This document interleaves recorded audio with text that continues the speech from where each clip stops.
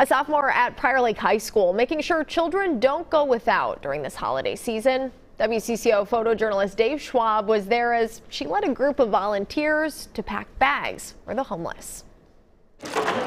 My name is Sanya Pirani. I'm a sophomore at Prior Lake High School. This whole project started when I really wanted to learn how to sew. We put a pocket into panels and uh, a, a, long strap so it can be put over the shoulder. Take my sewing skill and use it to make bags. My name's Cody. And I'm Diane. And we are packing school supplies. And here today, we're trying to support homeless children around Minnesota.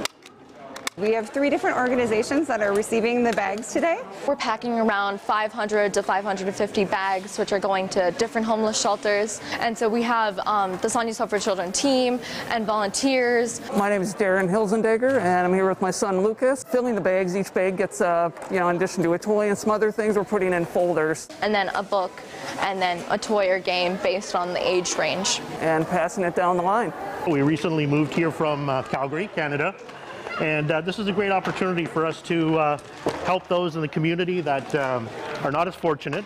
I think volunteerism in general is a good opportunity to reflect on our privilege throughout the holiday season or just in general is a great idea to do and it helps us connect with our community.